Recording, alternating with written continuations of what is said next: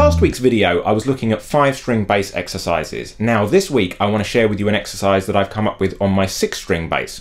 So all it is, is triads in 12 keys.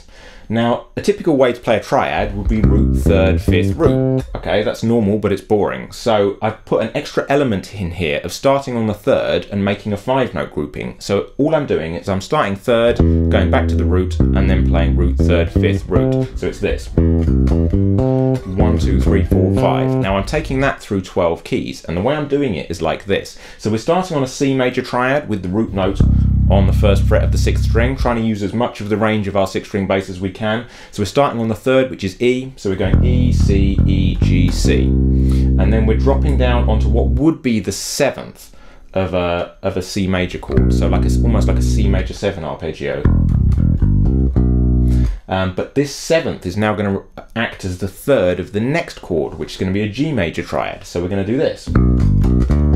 I'm going to drop onto the seventh of the G major, which is going to now be the third of a D major triad. And then onto the third of an A major triad, onto the third of an E major triad. Now when we get to here, we run out strings going up, so we have to come back down. And the way we're going to do that is like this.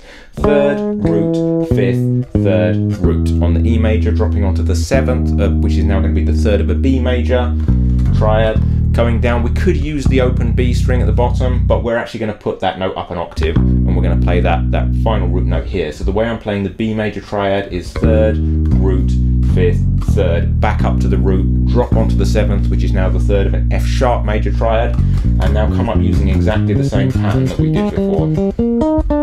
And then when we get to that first string, we're going to come down on the B flat major triad the same way we came down on an E major triad before. So third, root, fifth, third, root, drop onto the seventh, which is now the third of the F major triad. And then come onto an E, which is an octave above where we started. So you're now back onto a, a C major triad.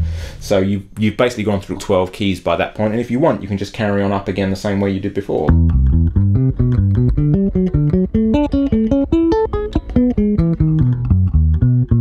etc., mm-hmm. etc., and you can just until you run out of space, uh, and then you could come up with a similar exercise coming down if you wanted to.